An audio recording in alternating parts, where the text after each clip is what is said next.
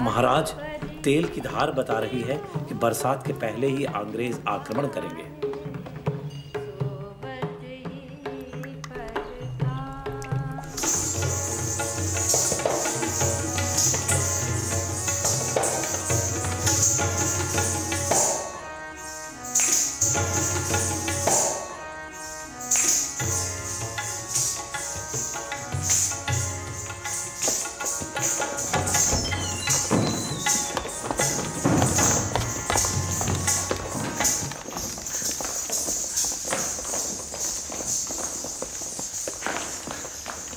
Kneel before His Majesty Khande Rao. I shall do no such thing.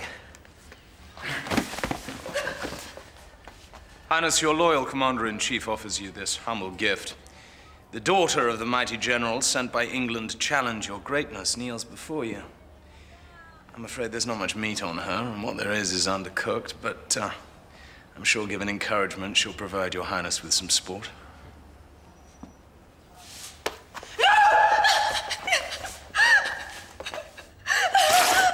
God damn you, sir, for shame. Your Highness, as a French officer, I cannot permit. Permit?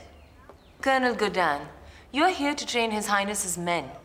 Nothing more. India is not France. You would do well to remember it.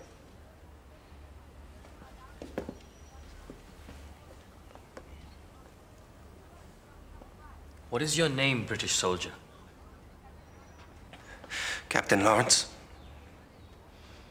I've lately consulted with the Brahmin, Captain Lawrence, hoping to gain the answer to a question that greatly troubles me.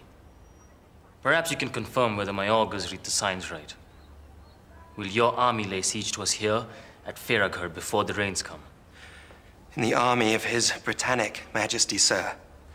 The plans of great generals are not confided to mere captains. A pity. You will convey for me then a message. A message to your army camped upon the northern plains. You should know that England does not parley with brigands, sir. Oh, but you mistake me, Captain. For I make no offer of parley.